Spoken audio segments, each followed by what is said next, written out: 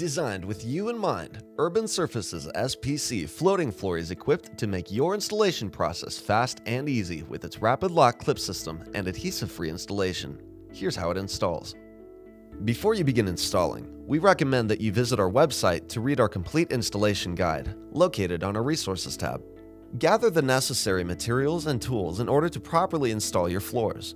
You'll need a double-sided mallet, a tapping block, a utility knife, a vinyl plank cutter if you have it, knee pads, quarter inch spacers, a pencil, flooring pull bar, and measuring tools such as a measuring tape, a level, chalk line reel, and a carpenter's square. Prior to installing, you'll want to prepare your subfloors, making sure they're level, clean, and as moisture free as possible. Refer to our installation guide document to determine if your subfloor is appropriate for installation. When cleaning, you'll want to make sure all debris and protrusions are scraped and swept away, leaving your surface to be as spotless as possible. Then measure the deflection or curvature of the subfloor to ensure it's level within 3 16ths of an inch in a 10 foot span. Subfloors should not slope either upward or downward more than half an inch per 6 foot span. If the subfloor bows upward, grind it down. If it slopes down or has holes, fill it in with a Portland-based self-leveler.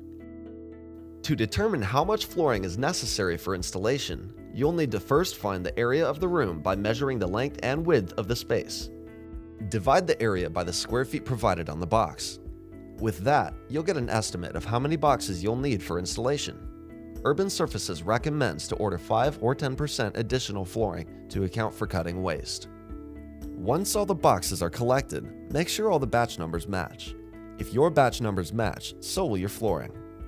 Acclimate the box as a floating floor for 48 hours within the environment in which it's going to be installed, recommended between 65 and 85 degrees Fahrenheit. To prevent alkali damage, install a non-permeable moisture vapor barrier rated for 100% RH. We suggest either having 6 mil polyethylene layered on top of the subfloor, or using Sahara, and a limited moisture vapor barrier by Taylor Adhesives, requiring no testing for RH or pH when applied.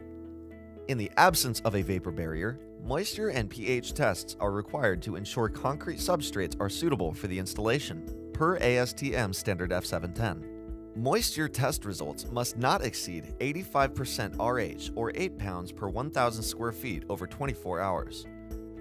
pH must result between 5 and 9 to avoid alkali damage. When installing, for the best results, we suggest sorting through multiple boxes and separating each pattern. This benefits your installation results, giving you control of the patterns for a more organic look. Walls aren't always straight, so to solve this issue of possible wall deviation, we recommend modifying this next row to go against the wall itself, which we will call the edge row. To do this, first measure off the wall no less than 3 inches on either side, once the edge row's width is identified, snap the chalk line accordingly. Begin installing the initial row by aligning the first plank to the left side of the longest wall along the chalk line. To attach the next plank, simply join the clips to one another and carefully secure them with a mallet. To score or cut through a plank to finish off a row, make sure to measure the width from the edge you'll be cutting. With a utility knife, score the mark until deep enough to snap the plank and make another additional cut if desired on the padded side for a cleaner break. If available, we recommend using our vinyl plank cutter for a quicker and cleaner result. To attach the long sides, insert the plank at a 45 degree angle, sliding it over to the short end, then lower it into place. Using a tapping block, tap along the length of the planks to properly engage the surrounding clips. Once the first few rows have been completed, Make sure the planks are aligned with the chalk line. Then we can go ahead and work on the edge row. Lay out your planks for the edge row on top of the initial row, serving as a guide, making sure that they're perfectly aligned. To measure the cuts for this row, we recommend modifying a loose plank by shaving off the groove, which will allow for an accurate tracing of the wall's edge. Add your quarter inch spacers to the modified plank, pushing it against the wall. Then trace down the edge row. Make sure the planks are still aligned with the chalk line as you're tracing.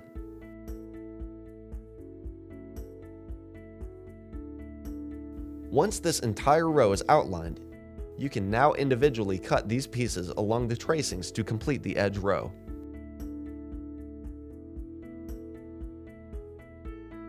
From here, simply place the planks in and secure them with a flooring pull bar. Add the quarter inch spacers as installation continues and secure the seams with a mallet.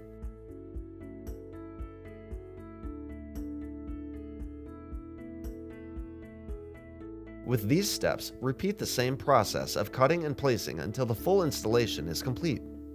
To disengage, make sure the locks are secure and simply slide the planks out without lifting the planks. Any angle beyond its design may fracture the clip. From there, remove the spacers, trim the barriers if applicable, add your baseboards, clean its surface, and the installation of Urban Surfaces SPC floating floor is complete. We thank you for choosing Urban Surfaces as your modern flooring solution. For more information, visit our website at urbansurfaces.com. Follow us on social media or call us at 1 800 492 8722. We look forward to hearing from you.